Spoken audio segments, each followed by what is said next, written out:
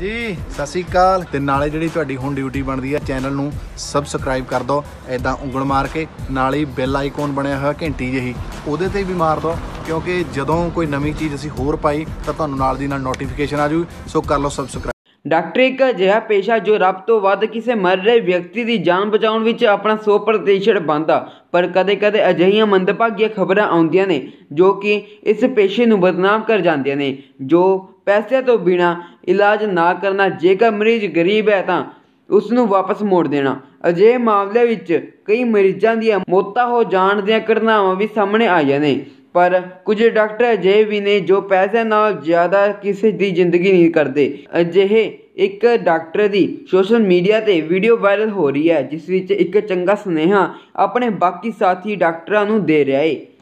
मेरा ये मैसेज मेरे उन डॉक्टर साथियों से है जो रात को इमरजेंसी हैंडल करते हैं उनको मेरी हाथ जोड़ के अपील है कि कभी भी अगर रात को आपके पास कोई गरीब व्यक्ति आता है इलाज के लिए इमरजेंसी में, और उसके पास आपको देने के लिए फ़ीस नहीं है तो कोई बात नहीं, उसका इलाज ना रोकें। गरीब आदमी कभी किसी के पैसे नहीं मारता है, वो अगले दिन कहीं से भी इकट्ठा करके लाके आपको पैसे दे देगा।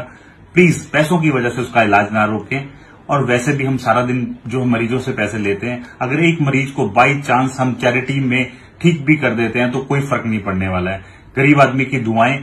लाखों रुपए से भी ज्यादा की होती हैं तो प्लीज साथियों रात को इमरजेंसी में किसी का इलाज पैसे की वजह से नहीं रुकना चाहिए ताकि हमारे प्रोफेशन पे कोई भी आंच ना आए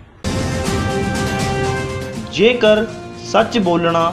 ਸੱਚ ਲਿਖਣਾ ਬਗਾਵਤ ਹੈ ਤਾਂ ਸਮਝੋ ਅਸੀਂ ਬਾਗੀ ਹਾਂ ਸੱਚ ਅਤੇ ਹੱਕ ਦੀ ਆਵਾਜ਼ ਦੁਨੀਆ ਦੇ ਹਰ ਕੋਨੇ-ਕੋਨੇ ਦੀ ਗੱਲ ਪੰਜਾਬ ਟੀਵੀ ਕਰੇਗਾ ਸੱਚ ਦਾ ਖੁਲਾਸਾ। ਤੁਸੀਂ ਦੇਖਦੇ ਰਹੋ ਪੰਜਾਬ ਟੀਵੀ ਸੱਚ ਅਤੇ ਹੱਕ ਦੀ ਆਵਾਜ਼।